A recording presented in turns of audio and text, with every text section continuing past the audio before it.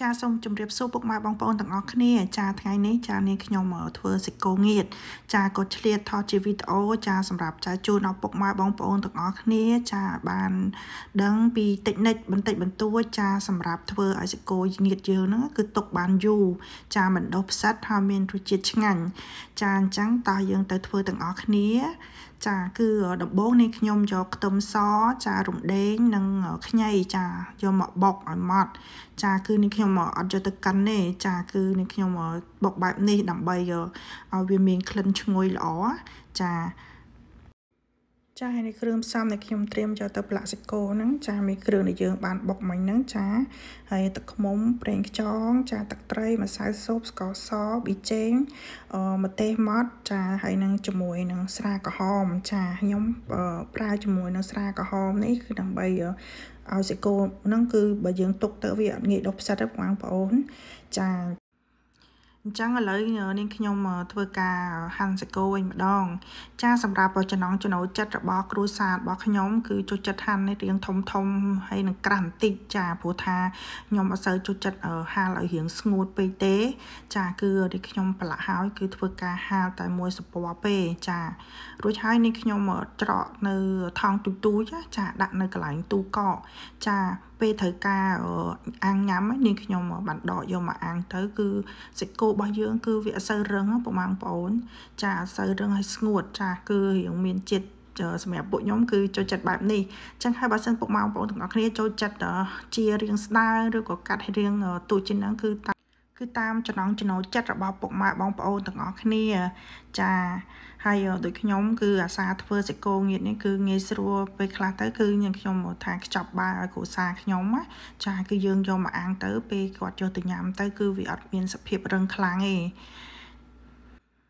ចាអញ្ចឹងហើយនេះខ្ញុំធ្វើការច្បល់គ្រឿងចាដែលយើងមានបាញ់មិញខ្ញុំចាក់ចូលហើយខ្ញុំច្បល់ចូលគ្នា ចាឲ្យសប់ទើបនេះខ្ញុំយកសាច់គោខ្ញុំមកច្បាច់ចាដើម្បីឲ្យសប់គ្រឿងហើយការដែលនេះខ្ញុំហាន់ក្រាស់នេះគឺពិបាករៀងពិបាកបន្តិចពុកម៉ែបងប្អូនគឺយើងត្រូវការប្រើកម្លាំងខ្លាំងក្នុងការច្បាច់សាច់គោហ្នឹងចាដើម្បីឲ្យគ្រឿងទាំងអស់ហ្នឹងវាបានសប់ចូលទៅក្នុងសាច់សាច់គោបានល្អ ចាហើយនាងខ្ញុំធ្វើនិយាយទៅចំបាច់ម្ដងមួយម្ដងមួយធ្វើម៉េចឲ្យវាចូលសប់ល្អបន្ទាប់មកនេះខ្ញុំមកទុកចោលមួយម៉ោងនេះខ្ញុំយកវាមកចំបាច់បែបនេះម្ដងទៀតចាគឺគឺយើងច្បាច់វាដើម្បីឲ្យវាចូលចិត្តសប់ល្អហើយបើសិនពុកម៉ែបងប្អូនជារៀងស្ដើងតែពិតគឺងាយស្រួលទេចាគឺយើងច្បាច់វាល្មមល្មមគឺវាចូលចិត្តសប់ល្អប៉ុន្តែដោយសារខ្ញុំចូលចិត្តរៀងក្រាស់អញ្ចឹងហើយនាងខ្ញុំគឺប្រើរៀងកម្លាំងច្រើនបន្តិច ចាចឹងនេះខ្ញុំទុកខាងក្រៅចោលរយៈពេល2ម៉ោងចាបន្ទាប់មកគឺនេះខ្ញុំនឹងធ្វើការច្បល់វាម្ដងទៀតចា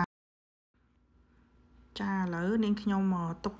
ចោលរយៈពេល2ម៉ោងឥឡូវធ្វើការច្បល់វាម្ដងទៀតហើយចាមុននឹងនាងខ្ញុំយកទៅផ្អាប់ទុកនៅក្នុងទូទឹកកកចារយៈពេលមួយយប់ចាស្អែកបាននាងខ្ញុំយកវាទៅហាលថ្ងៃ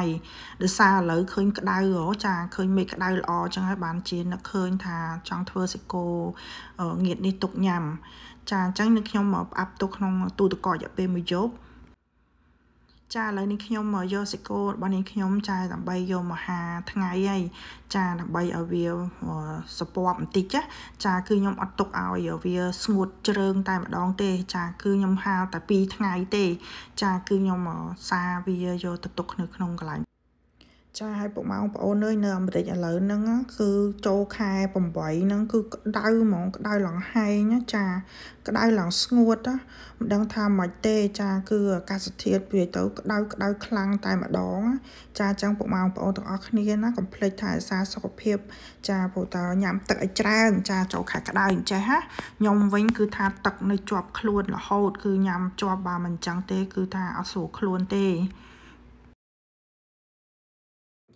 ចាឥឡូវសាច់គោងៀតរបស់យើងគឺនាងខ្ញុំសម្រាប់នាងខ្ញុំគឺខ្ញុំអាចប្រមូលយកទុកបានហើយចាហើយបើសិនជាពុកម៉ែបងប្អូនទាំងអស់គ្នាចូលចិត្តរៀងក្រៀមចារៀងស្ងួតជាងហ្នឹងចាគឺអាចហាលរយៈពេល2ទៅ3ថ្ងៃទៅចាសម្រាប់នាងខ្ញុំគឺខ្ញុំហាលតែ2ថ្ងៃទេចាគឺស្ងួតប៉ុណ្នេះគឺនាងខ្ញុំប្រមូលទុកហើយ